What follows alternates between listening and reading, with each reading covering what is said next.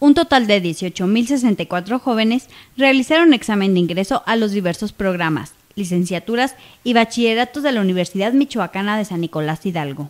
Si bien las solicitudes aumentaron en todas las áreas, el sector salud sigue siendo el de mayor demanda, dio a conocer Egberto Bedoya Becerril, secretario general Nicolaita.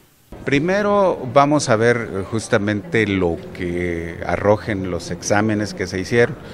Eh, tenemos entendido que fue incrementó las solicitudes de ingreso y lo digo lo triste es que se, se, incremente tanto en el área de la salud que es donde justamente no tenemos ahí las facilidades por lo que hemos comentado mucho de los campos clínicos.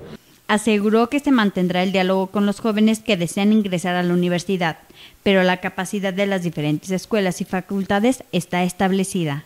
El acercamiento con, con los jóvenes que, están preocupados por los que vienen a estudiar y bueno, qué bueno que se preocupen, este, lo, lo tenemos siempre y, y, como lo hicimos el año pasado estuvimos muy al pendiente, este, siempre en diálogo y que afortunadamente entendieron que la universidad no puede aceptar más de, lo, de la capacidad que tiene tanto en profesores, laboratorios, eh, campos clínicos. A los estudiantes que tenían la intención de ingresar a la universidad pero no hicieron ningún trámite quedarán automáticamente fuera, informó Becerril Bedoya. Todavía no, no, no se ha dado el número de los estudiantes que pueden que queden fuera de la universidad, o sea, no sabemos cuáles quiénes vayan a quedar.